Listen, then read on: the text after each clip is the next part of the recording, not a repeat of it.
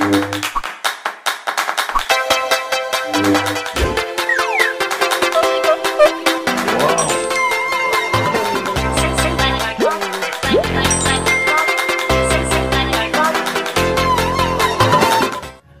ดีครับ พบกันอีกแล้วนะครับ กลับมารับชมรับฟังแต่เสียงหล่อๆอีกเช่นเคยนะครับผม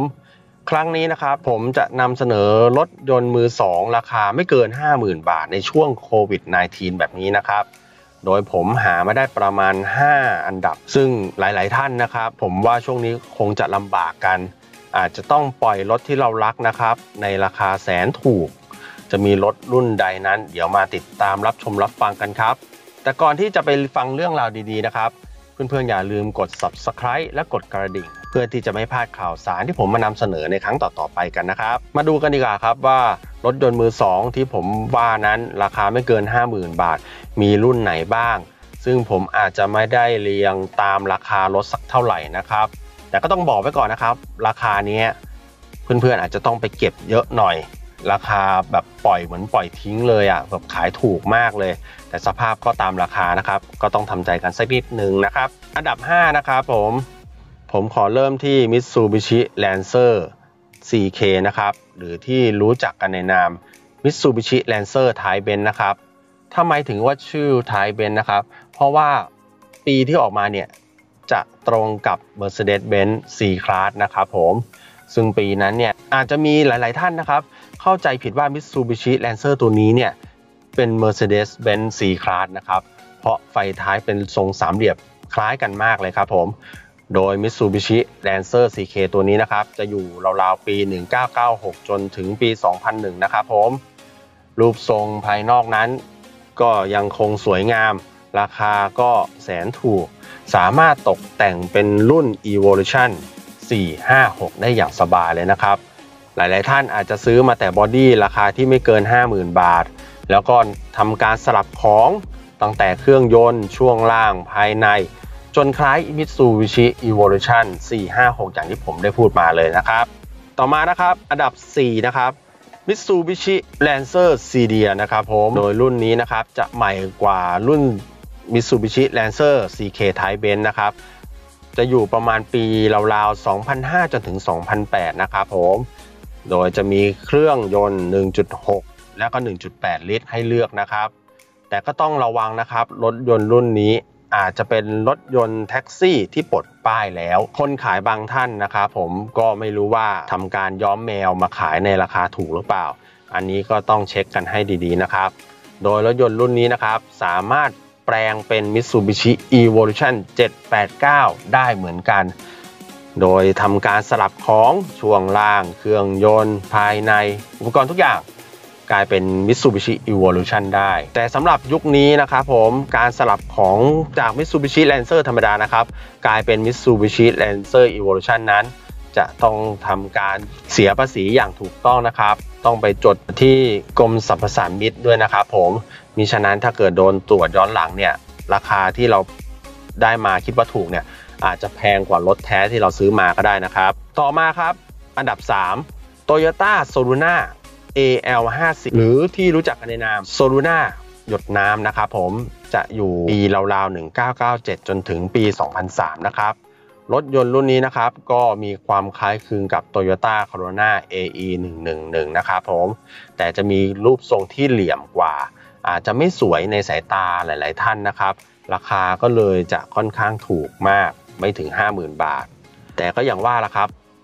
รถยนต์เนี่ยถ้ามันอยู่ในมือคนที่แต่งรถเป็นหรือแต่งรถสวยเนี่ยยังไงก็สวยครับผม ผมเชื่อว่ารถยนต์รุ่นนี้เนี่ยก็เป็นอีกหนึ่งรุ่นนะครับที่ราคาน่าจับต้อง สามารถเปลี่ยนเครื่องยนต์ได้ สามารถตกแต่งให้สวยงามได้นะครับผมถ้าเรามีไอเดียสักอย่างนะครับ จับรถไหนมาทำนะครับ มันก็สวยหมดละครับ ต่อมานะครับผมอันดับ 2 Honda Civic EG 3 ประตูนะครับ ตัวนี้นะครับเป็นตัวยอดฮิตของวัยรุ่นเลยนะครับ ราคาค่อนข้างจะแข็งมากผมบอกเลย ราคาถ้าเจอไม่เกิน 50,000เนี่ยโคตรถูกเลยครับ บอกเลยแต่คงจะสภาพแบบ น่าจะต้องไปบิวเยอะหน่อย โดยรถยนต์รุ่นนี้นะครับจะอยู่ราวๆปี 1991 จนถึง 1995 และความนิยมนั้นยังไม่เสื่อมคลายเลยครับเผลอๆนะอาจจะขึ้นหิ่งเป็นรถเรโทรรุ่นหนึ่งเลยได้นะครับ ทุกวันนี้นะครับยังมีอะไหล่จากประเทศไต้หวันเนี่ยผลิตขึ้นอยู่ใหม่ตลอดเวลาเลยครับทำให้รถยนต์รุ่นนี้นั้น วัยรุ่นทั้งหลายแหละชอบนิยมมาแต่งกันให้สวยงามบางคันนะครับผม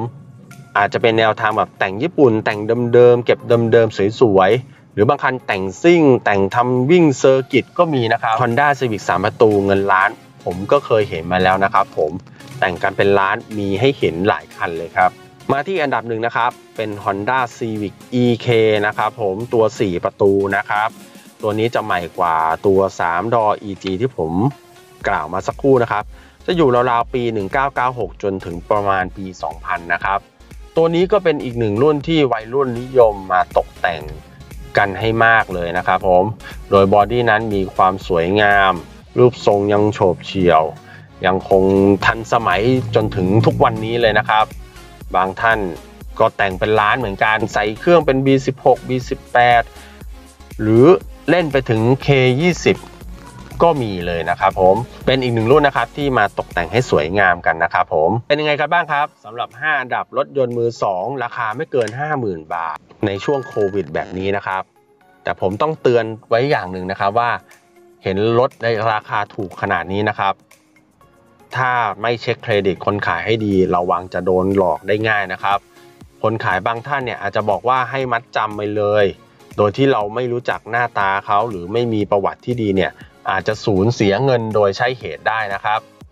ยังไงก่อนจะซื้อรถยนต์ราคาถูกลักษณะนี้ ลองเช็คเครดิตคนขายดูก่อนนะครับผมก่อนที่เราจะวางเงินมัดจำหรือเป็นไปได้เรานัดดูรถเลยนะครับ อย่าวางงดมัดจำหรือโอนเงินให้ก่อนเป็นอันขาดเลยนะครับ อันนี้ต้องระวังกันสักนิดนึง ช่วงนี้เศรษฐกิจไม่ดี การซื้อการขายเราต้องระวังให้มากครับ มีการหลอกลวงกันให้เห็นกันทุกๆวันนะครับ เพราะฉะนั้นนะครับ ถ้าไม่มั่นใจยังไง ราคาถูกแค่ไหน ก็อย่าซื้อเลยครับใจเย็นๆรอนะครับ บางท่านที่ขายรถนะครับ ราคาถูกขนาดนี้ก็มีความจำเป็นนะครับ แต่อย่างที่ผมบอกไป หลายท่านก็อาจจะโดนหลอกได้ง่ายเพราะลดราคาถูกเนี่ยเหมือนกันนะครับยังไงผมขอเป็นหนึ่งในกำลังใจให้ผ่านพ้นในช่วงวิกฤตไปให้ได้นะครับผมเพื่อนๆก็อย่าสิ้นหวังกันนะครับผมมีกำลังใจในการต่อสู้กันต่อไปนะครับหวังว่าเรื่องราวที่ผมมานำเสนอในวันนี้ จะเป็นประโยชน์กับเพื่อนๆไม่มากก็น้อยนะครับ เหมือนเดิมครับ ถ้าชื่นชอบคลิปนี้ยังไง อย่าลืมกดไลค์กดแชร์ กดติดตาม ที่สำคัญอย่าลืมกดกระดิ่งกันด้วยนะครับ แล้วมาดูกันว่าครั้งหน้าผมจะมีอะไรมานำเสนอ ขอบคุณที่ติดตามชมกันครับ สวัสดีครับ